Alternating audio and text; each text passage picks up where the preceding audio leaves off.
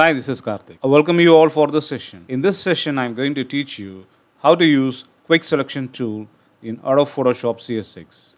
Once again, I repeat the topic, how to use the Quick Selection tool in Adobe Photoshop CS6. In order to demonstrate the use of Quick Selection tool, we need to open an image. Go to File and click the option Open. An open dialog box will pop up. Select the image and click the option Open in order to open the image. Now you can see Adobe Photoshop creates a default layer called as background layer and where you can see the lock symbol. It means that the layer is locked. To unlock the layer, double click the layer and provide a name. And I'm going to rename the layer as BG layer. The next task is to create an adjustment layer with solid color. Go to create new fill or adjustment layer and select the option solid color and choose a dark color as you like. Since the adjustment layer is on the top, we need to drag the adjustment layer to the bottom. Now you can see the BG layer is on the top. Go to selection tool and click on quick selection tool. The quick selection tool consists of options like add to selection,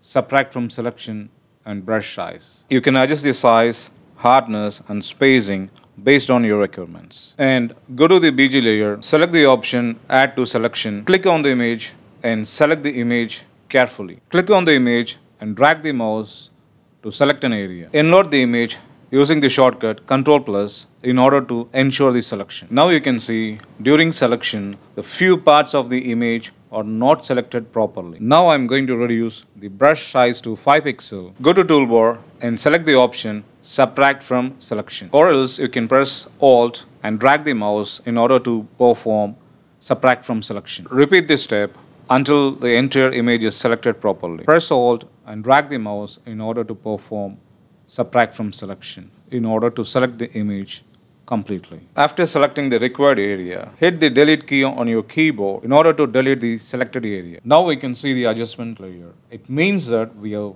deleted the selected portion from the BG layer. Now I'm going to change the brush size to 8 pixel. Click on the image and drag the mouse in order to select the specific area of an image. Now we need to exclude these portions from the selection. Press Alt and drag the mouse in order to exclude the portion from the selection. Ensure the selection and hit the delete key on the keyboard. I'm going to increase the brush size to 15 pixel and repeat the steps to remove the unwanted portions of the image. Uncheck the visibility of the adjustment layer and now you can see the transparent image of BG layer. Go to select menu and select the option deselect in order to remove the selection from the BG layer. In this video, we have seen the real use of quick selection tool. I hope that you guys have enjoyed this video Thanks for watching this video. If you like this video, kindly like, share, comment and subscribe.